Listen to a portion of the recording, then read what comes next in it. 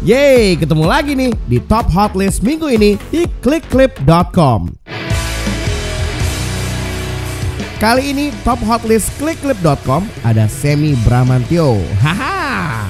Yang mau ngasih tahu kamu siapa aja top Hot List bass player menurut Semi.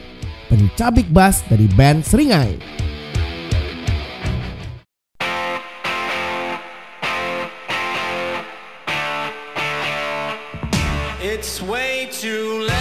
Carlos Dangler yang dulunya sempat di band Interpol ternyata masuk ke dalam salah satu top hot list basis pilihan Semi nih.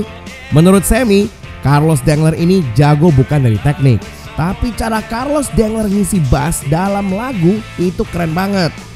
Playing style dan fashion sesi juga jadi nilai tambahan buat Carlos Dangler di mata Semi.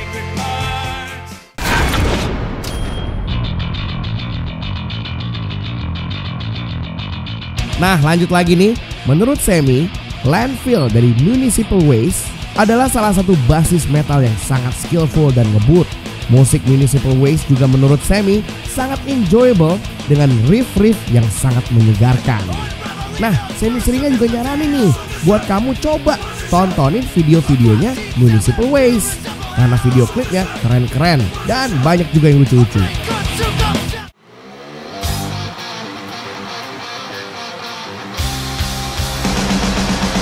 Siapa yang gak kenal sama Nicky Six, basis Motley Crue? Kalau secara skill, teknis main bass menurut Semi, Nicky Six nggak terlalu spesial. Tapi kalau urusan skill songwriting dan aransemen lagu, Nicky Six juaranya. Dan Semi pernah baca bukunya Nicky Six yang judulnya The Heroin Diaries. Yang isinya kumpulan diary sepanjang perjalanan karirnya Nicky Six. Yang ternyata dari diarynya ini banyak jadi inspirasi penulisan lagu Motley Crue.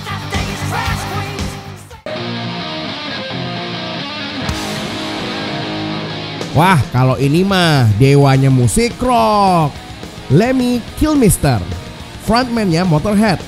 Semi kepincut berat nih sama Lemmy karena attitude-nya yang sangat badass. Pemilik nama asli Ian Fraser Kilmister yang sudah almarhum ini adalah bukti nyata kalau nggak perlu skill yang gimana banget dalam main bass untuk bisa jadi legend. Asal bisa nulis lagu yang benar dan konsisten rilis album. Coba ditiru nih. Siapa tahu kamu bisa jadi the next Lemmy alias Lemmy Bramantio.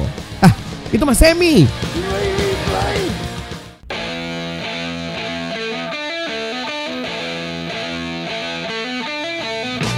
Nah, ini nih top of the notch-nya atau pamungkasnya. Basis yang paling diidolain sama Semi.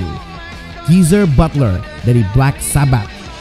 Semi yang ngefans berat sama Black Sabbath suka banget sama cara Geezer Butler bikin licks-licks bass dengan playing stylenya yang bluesy yang jadi keunggulan Geezer Butler dibanding basis lainnya. Dan cara main bass Geezer Butler berhasil banget bikin lagunya Black Sabbath jadi beda dibanding band lain yang satu zaman dengan mereka.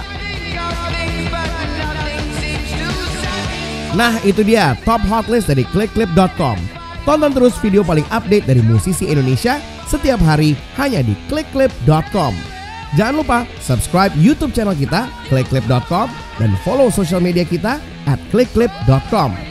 Clickclip.com, Indonesia Music Channel.